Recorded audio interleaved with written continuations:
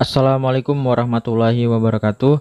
Di video kali ini saya akan membuat tutorial Bagaimana cara menonaktifkan dan cara mengaktifkan antivirus bawaan Windows 10 Oke langsung saja kita ke tutorialnya.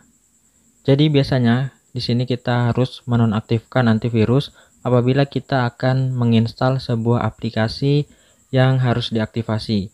Karena jika antivirusnya tidak dinonaktifkan, biasanya aktivatornya akan terbaca sebagai virus. Jadi kita harus menonaktifkan antivirusnya. Oke, jadi cara untuk menonaktifkan antivirus di Windows 10, di sini kita menuju ke menu Windows. Kemudian di sini kita pilih menu setting.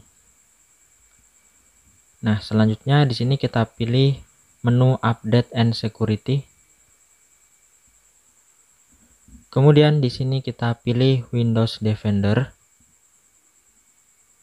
Dan untuk real time protectionnya di sini kita off kan.